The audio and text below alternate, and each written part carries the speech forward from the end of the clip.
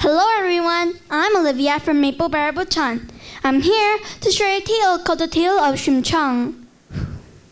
A long time ago, there was a girl named Shimchang. Sadly, her mother had passed away and her blind father Shim raised her by himself.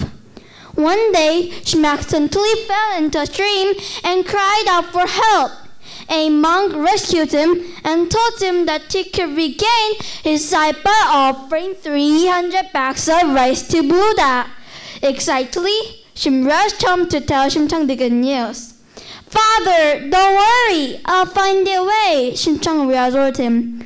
The sailors were searching for a human sacrifice for the rough sea. Shimchang thought, this could tell my father, so she approached the sailors and asked for rice in exchange for sacrificing herself.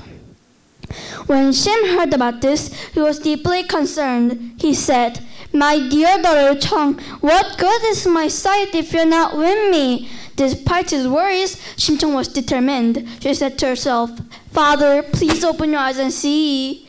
Shimchang jumped into the sea, but her act of love touched the heart of the dragon Kim the Sea, who saved her.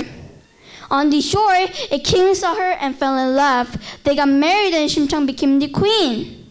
One day, seeing Shimchang in sadness, the king decided to hold a feast for blind people. Shimchang looked around, spotted a man, and said, Father, is that you? It's me, Chong. Her father recognized her voice and said.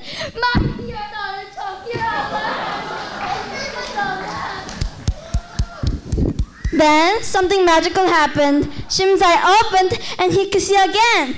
From that day on, Shim and Shimchang lived happily ever after.